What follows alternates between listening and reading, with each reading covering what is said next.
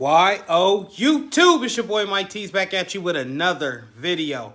Behind me is 30 different flavors or vinyls or puffs that you can use to transform your heat transfer clothing into an idea that's one of a kind. Let me explain. So on the end we have black puff, orange, uh, multi-galaxy stripe, which is very popular. This has the sparkle in it. We have red, we have white, we have the original black, which is the Econo V. Uh, the royal blue. I call this the Christmas pattern because that's the only thing I can think of. It might the name might be in there. Econo Flex Buffalo Plaid. Uh,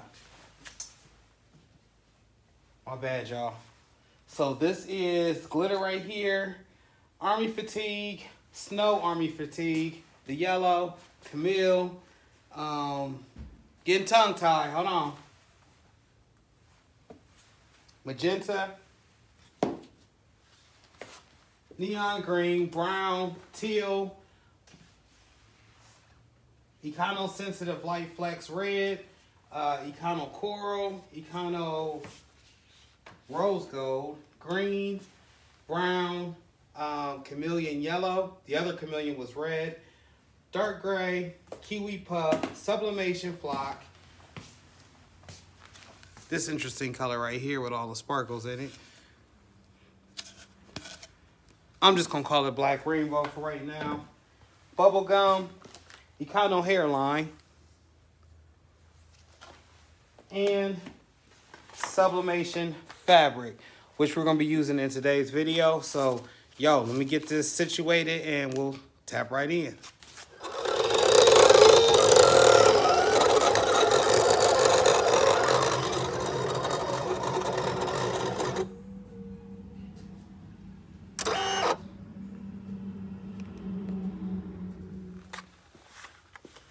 So when it comes to choosing Econo and which flavor or which pattern or which vinyl that you actually need for the job, they come with uh, instructions on their website, but they also send this how-to use card right here. And all you do is scan that little capture code right there and it gives you press and cut settings as well as how-to videos.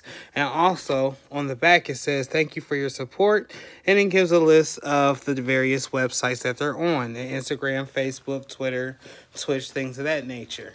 So I must say the puff that they have is the best puff in the industry. And I believe they're up to like 30 or maybe even 40 flavors of puff. Flavors is another word for colors for me. So whenever you hear flavors and heat transfer vinyl, that's my way of expressing the colors and patterns that they do have to offer. Now, the Kiwi Puff is out. I actually did do a video over it, but I didn't like the way I shot it, so I'm going to reshoot it. I also have some Burgundy Puff, um, as well as some Orange Puff, I do believe the uh, black puff, which you guys seen in the beginning of the intro. And by the way, that was just 40 flavors. That's not all that I have. I have probably a good 60 to 70 rows of Econo Transfers, vinyl, specialty vinyls, and flex foils. Trust me, when I say it's that good, it's literally that good. So make sure you guys tap in. But what we're getting into today is the sublimation fabric. Uh, fabric that you can actually sublimate on with any image that you desire. Um, in this one, I'm making a shirt for myself, and it's going to be the cover of Notorious Big when he was a baby. And I already cut it out on the sublimation fabric, as you guys just seen.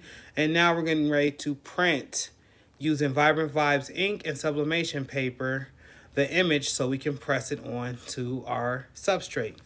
Let's go. Grizzly merch about to be available. Y'all see what's going on up there. That one's actually for a customer. Another one for a customer. So with that sublimation fabric, the cut settings was extremely high, especially if you're using a Cameo 4 or any of the Cameo editions. I'm not sure if it's the same for using a Roland or um, one of the other cutters that's out there that's available, like the Solo or maybe the Cricut. Um, my force was at a 20. I didn't use a mat. My speed was at a 5 and I was 4 on the dial. So that's what I use for my cut settings to get the perfect cut. This is a thick substrate and once again that pressure has to be up to 20 as far as the cut or the force. However you guys want to say it. Well, let's hop over to the actual image. And so what you guys see in front of the camera is the image of Biggie, the sublimation fabric, um, and the Notorious Ready to Die, which is actually the um, album cover. So we're recreating the album cover. Sublimation paper I got from Vibrant Vibes Ink. This is the 13 by 19. Um, and also the sublimation ink came from Vibrant Vibes ink. Links will be in the description. But when weeding this out, I do have to use a tool. It's not that hard to weed out. But I'm going to show you guys, try to get on camera as best as I can. Still hit the corner, flip over, pull down. Then I remove the tool myself. And I just go to being reckless with it because I know my cut settings were right. If you're not peeling it back this easy, that means your cut settings were off. You need to stop immediately and adjust your cut settings. It should be literally that easy to get the image of Biggie's body out.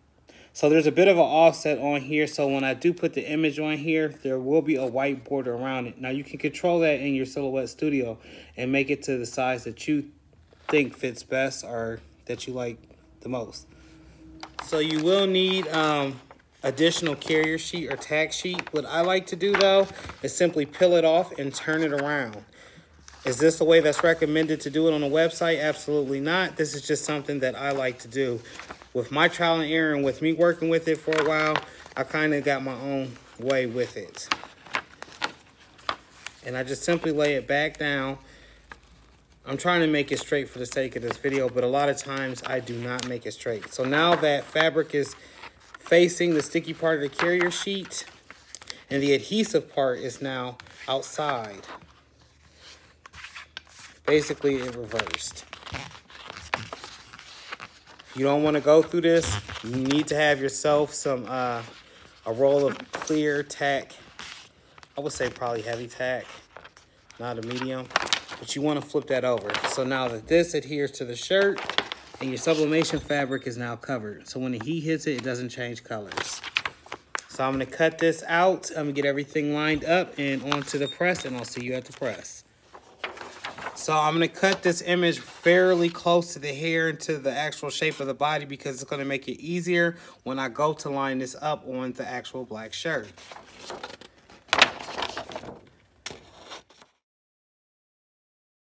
My temperature is set at 380 degrees and I'm pressing for 48, 50 seconds. I did this based upon my trial and error experiences with working with the sublimation fabric.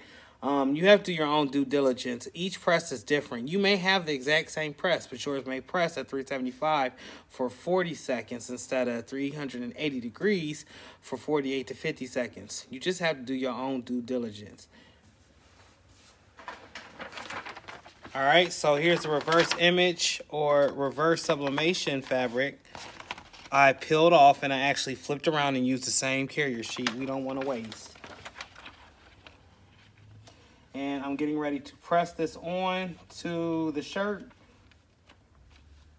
I'm going a little bit more than four fingers down because there's going to be uh, the album cover over top and it's going to say ready to die at the bottom. So for your pressure, as far as your press, that, that just depends on you. Mine's was set for Supacolor, so I'm going to just leave it at that because I want a good firm hold. I don't think that it smashes it or it harms this in any way, as I did do the other shirt and I did not adjust the pressure. So I'm just going to leave what's working, working. After all, don't fix it if it ain't broke.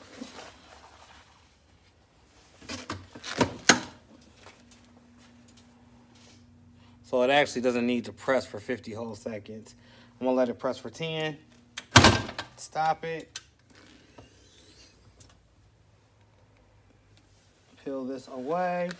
And that exposes our actual sublimation fabric. No need to waste a carrier sheet. So for this part, you're gonna have to line up. The best results that I found with this is using your light on your phone so you can kind of see through. There's actually no other way that I found yet to line it up. And listen, if you make a mistake, it's all right. Don't cry, don't quit, don't stumble.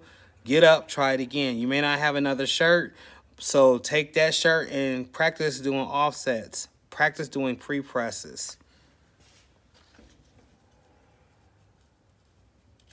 So usually I just use a light like this to kind of see what's going on in front. As long as I can see enough of the uh, offset on the outside, then I know I'm lined up pretty good. But I made indentations in the cut as far as the top of the head goes, so I knew where to line it up right there, where the neck is, and also where the toes are at. Trust me, this will help you. And once again, if it's not too perfect, it's my shirt. I don't care. I mean, we're aiming for perfection, but you don't always get it. I just don't want it to be a reason that you quit. Now, with this, we're going to actually cover it with uh, Teflon sheet, and we're going to actually press it for the full 50 seconds. Well, we'll use another sublimation sheet. And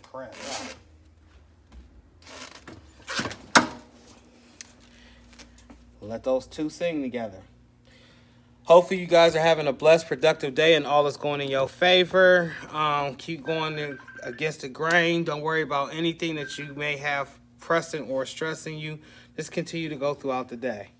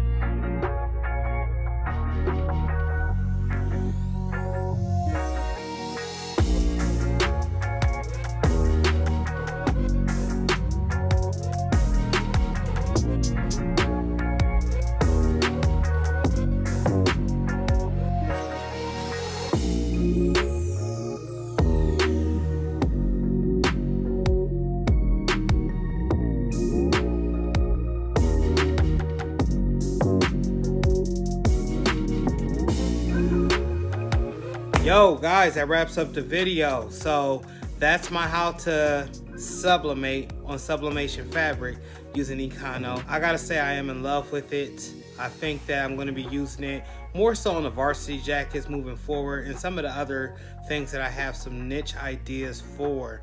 Um, how can it help you upgrade your business? It adds depth, it adds character. It definitely is an upsell or upgrade to just your regular um, heat transfer vine. So consider using it. Check them out. The link will be in the description. Like I always say, guys, break the sky with your creativity. Don't let nobody stop you. Don't let nobody get in the way of you shining or making it to the top. Often, a lot of times, people will say, well, you're wasting time. What are you doing with your time?